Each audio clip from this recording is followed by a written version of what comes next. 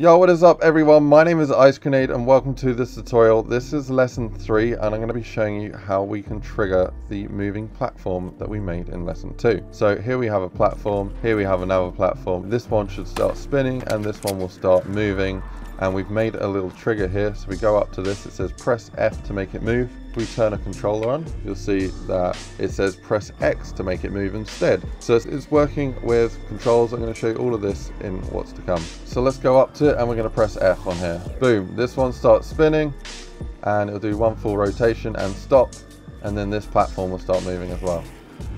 And into the zombies we go There are a lot of different triggers you can use in Radiant and we're just going to go through some of them now. So if you bring up the entity browser by pressing B on the keyboard and then we're just going to drag this out here. If we go over to trigger you'll see that we have quite a few here and each of them have their own different properties. We're just going to highlight the common ones. So the first common trigger that people will be using is the trigger use. So if you see here where it says use and you drag that into your map you'll see that it places a box in the grid view here, also in the camera view as well. So a trigger use is the one where you go up to it and it says press F or press X or whatever controller you have to interact with this object and you're going to be writing in that hint string yourself. The hint string is what we call the message on the screen when players go up to it. And using a trigger use requires a player action before it's triggered.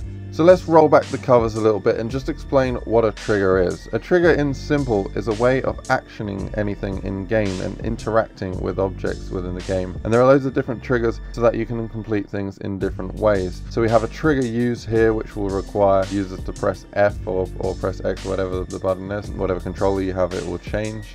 But there's also a trigger damage, for instance, that will only make something happen after it's taken a whole load of damage. If we just remove this and then drag in the damage, it will look exactly the same, but you got to shoot or explode or, or, whatever you set it up as. And then when it's taken enough damage, it will then cause an action to whatever you programmed it for. There is also a trigger radius, and as the name suggests, this is one where it will trigger something when you've stepped inside the radius. Very useful for, for certain things as well. And the other common one that people we'll be using is the trigger multiple. The trigger multiple is simply one that actions on its own without pressing F so when you walk into it it will make something happen. Similar to the trigger radius in this respect but the trigger multiple obviously is a different shape and you can set it up with a bit more complexity. But anyway we're going to delete all of these and in this tutorial we will just be covering the trigger use. So here we have a trigger use and the first thing you're going to want to do from here whenever you're setting up a trigger is press N, go to the entity info and assign it with a unique ID. So here we're going to give it the target name or the ID of make move. So I've just written make move and what that's going to do is we're going to refer to that in the script later on and make it so that when you go up to this you can make it so that the objects move. The next thing to explain is triggers are invisible. So in Radiant, you're going to want to design something that players will go up to and know that, okay, well, yeah, here's something that we can interact with. And there are actually a load of common things that Treyarch use to do this. One of the most common ones, in, for example, is there is a power switch here. So you could program it so that you have a trigger in front of a power switch and therefore players know they can go up and interact with it or they're more likely to find it and interact with it. But you might not wish to use that and keep that just for power. There is also another activator thing here. There is a teleporter control here, so you might want to use this as a thing for them to interact with. And also you might find that this one is used as well, the trap control box, mainly for traps. But there are a lot of things in the mod tools that you could use to basically show players that, okay, here's somewhere you can press something. The next thing I'll add is, yes, these models are not clipped. So if you do want to put this in your map, it would be a good idea to clip it. So I'm just just going to clip it by deselecting it and dragging something over the top of it and rising it all the way up and pressing T and going to clip and there we go. So we clipped this object and we got the trigger with the target name of make move. So this is all going to be setting up in Radiant today. You're going to want to have followed lesson 2 to set up the other objects for this tutorial. So the next part of the tutorial, you're going to want to go to Sublime and open up your maps script file. If you don't know how to do this, it was all explained in lesson two. Right, okay, so here we go. We've already got the script moving object, and that's the one we're going to be adding a trigger onto today. Okay, if we scroll down to the function, and it's right here, we'll see that we've got it waiting until the black screen is passed, aka when you're in the game before anything happens. But we don't need that anymore because we're going to make it so that it waits for you to trigger it. So I'm just going to delete that. The next next thing is we've got it here declaring the platform. That is great. If we go over here, we'll see that the platform here is declared with that name. And then we have the spinning one, and then we have the platform move and the platform end. So like any other variable in Radiant,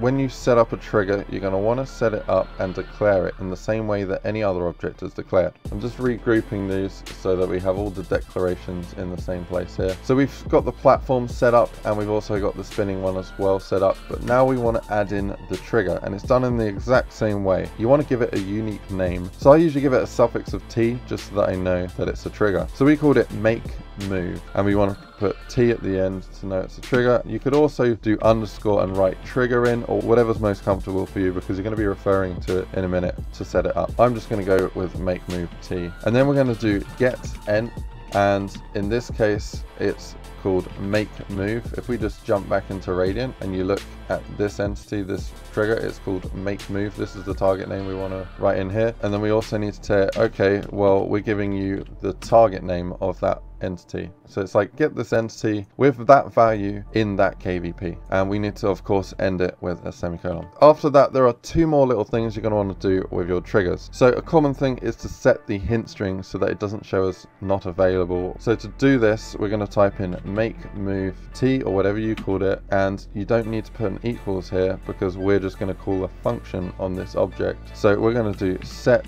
hint string. And this is what I discussed earlier. This is the little message that's going to pop up when you go to this trigger. And let's just say press F to make it move.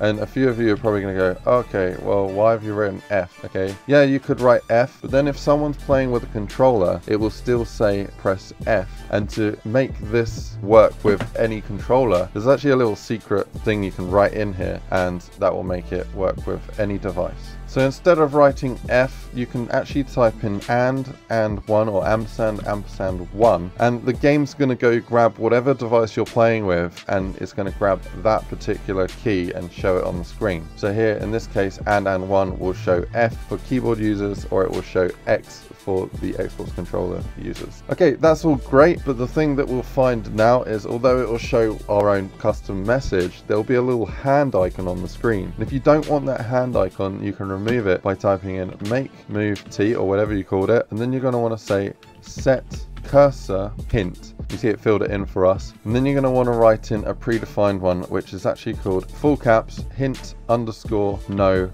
icon. And there are a few different ones you can use, but in this case, we just want to remove the icon. And to do that, we write in that. So don't forget to finish it with a semicolon. Okay, so that's the basic setup for a trigger. But at the moment, it's not doing anything. We're not using it to trigger anything. And we want it so that the rest of this code only runs when someone's pressed F on that trigger. So we need to write a wait. And to do that, we need to just reference this trigger again. And we're going to reference it here, make move T. We're going to type in wait till, and then we're going to type in trigger because we need to tell it that we're waiting for it to be triggered. That's the action. So that will always be trigger when you're using it to wait for a trigger to do something. And then we're going to specify player. Okay, so now when the code runs this function, it's going to assign all of these variables and it's going to set up the trigger with its name and then it's going to remove the hint icon and then it's going to get to here and go, okay, well, we're just going to wait here in this code until this trigger's active and it won't move on into the function until it has been activated. And because of that, now this will work in the way that we wanted it to. And that's pretty much it. In the coming tutorials, we'll go into how you can make it play sounds, deduct points from players, and also make it into something where they have to purchase something maybe, play effects, this, that, and the other. But for now, we're just going to compile it, and I'll go show you this in game. So here we have a platform. Here we have another platform. This one should start spinning and this one will start moving. Okay, so let's go up to it and we're going to press F on here. Boom, this one starts spinning and it'll do one full rotation and stop and then this platform will start moving as well and into the zombies we go. So yeah guys, that's all we got time for today in this tutorial. I hope this has helped you guys out. Don't forget to smash a like if you like this and write a comment if you have anything to ask me. Other than that, take it easy guys, stay freezy and I'll catch you on the next one. Right, see ya.